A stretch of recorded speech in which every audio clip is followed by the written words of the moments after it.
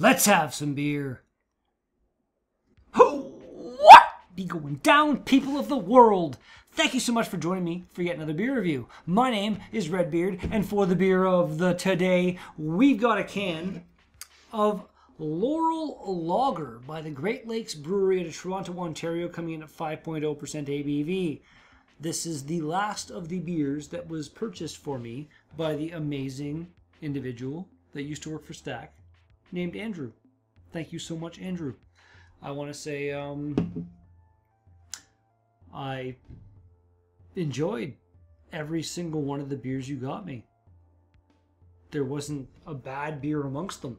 And this being a lager, I'm assuming it's going to be pretty tasty as well. Whoever did the labeling on this one made a little bit of an error, but you know, not the end of the world. Uh, part of their seven barrel series, apparently. 25 IBUs. Whatever 54 411 means is also a thing. But uh, yeah, it's a lager. Let's crack her open. I'm assuming it's going to be pretty decent. I tried their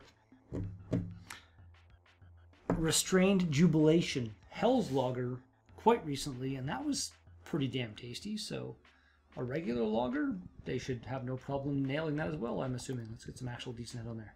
Aggressive pour. Not too aggressive. perfect pour.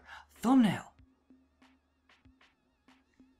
Really, really crazy kind of interior carbonation type stuff going on in there. Like a little vortex of bubbles. Hurricane of bubbles. Bubble cane nose into head. Awesome. Smells like a lager.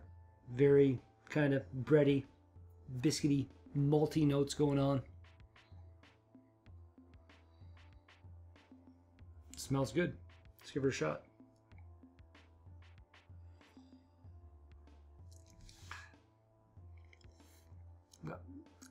Yeah, probably more head than actual liquid right there. Lagery, a little kind of maybe a bit of a metallic taste going on, but you can never fully judge something by the first sip. And this one, like the freaking head on this, you can't really see that, but it's it's really bright and white, but it's super tight packed like a a stout would be kind of thing. It's it's really weird to see. And just the carbonation flying off the inside of that. You see that going on? Yeah, you can see that. It's crazy. It's crazy. Let's do this. A cheers, everybody, and all of the cheers to Andrew from previously Stack Brewing. You're a great guy. Need to get you over here again soon and have you be a guest had a guest in a while. I'm lonely.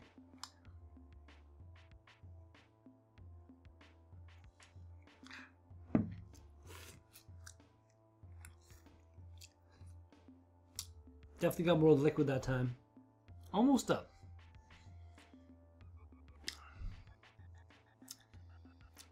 There's a bit of a fruity presence going on there or something. That's highly unusual in my mouth. There's nothing specific about this beer. This is their like kind of generic wrap for this beer and they put this tiny little paper label on it because it just says 20C of 20C 2017 wow 2017 marked 30 years of Great Lakes brewing great beers to celebrate we gifted ourselves with 7 BBL copper brewing system which allows us to continue crafting, collaborating, and creating cleverly named beers for 30 more years. Sorry. Um, yeah, there's nothing really specific on there. This was canned, appears to be something the 17th of January of this year. So it being a lager, that should be that's it's fine. It should taste pretty much just the way it's supposed to. The head on this is insane. This is like the head on an overcarbonated beer. It keeps replenishing itself.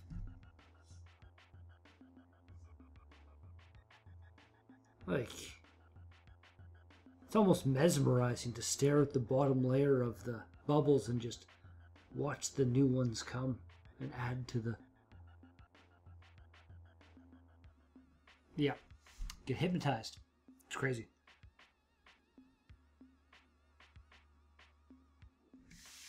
I want to say this, I believe this is potentially a little overcarbonated. It still is just going absolutely insane.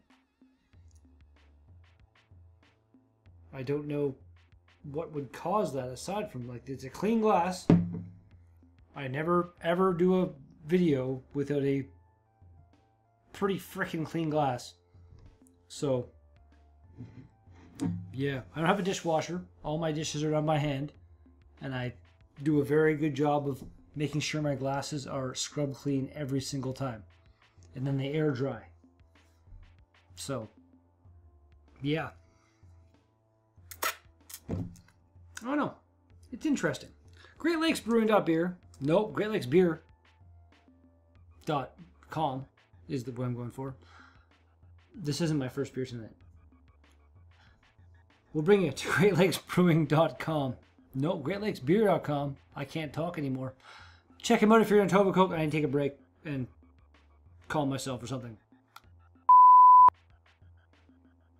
It's not bad for a lager. It's all right. Like again, there's there's a bit of an overlying kind of metallic taste to it, so it's not the best lager I've ever had, but it's not bad. It's just kind of seems maybe a little bit off or something. I don't know.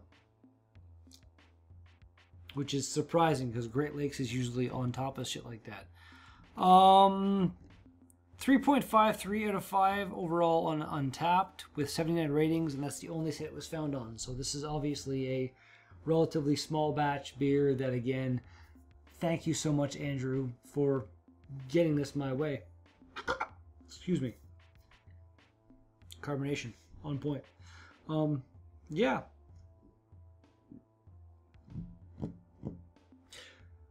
Not the first beer I've had tonight. Not super sober. Hiccups might be trying to creep up on me. We'll fight them. For his drink number the last.